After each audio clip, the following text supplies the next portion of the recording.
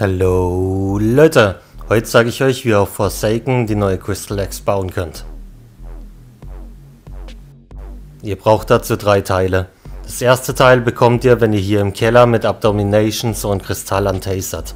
Also der muss seinen Blitzstrahl einfach auf so einen Kristall drauf machen. Sobald ihr dann den Kristall angetasert habt, dann wird es hier so eine Geode und dann könnt ihr die nehmen, das ist das erste Teil.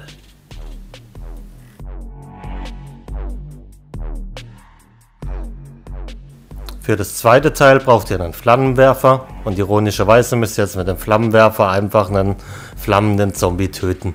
Also einer, der brennt, einfach mit dem Flammenwerfer draufgehen und er droppt euch dann das nächste Teil.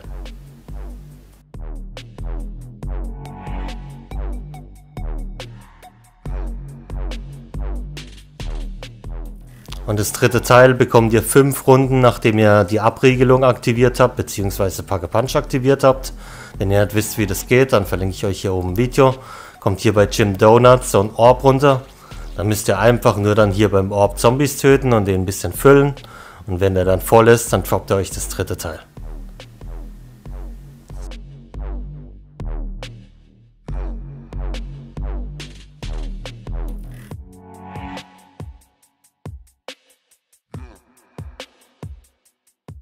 Wenn ihr jetzt alle drei Teile habt, dann müsst ihr jetzt nur noch zum Partikelbeschleuniger runter und hier in das Aquarium alle Teile einlegen.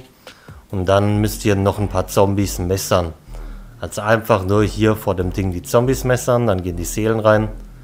Es braucht nicht viele. Und wenn ihr die dann habt, dann kommt die Axt hoch. Total easy.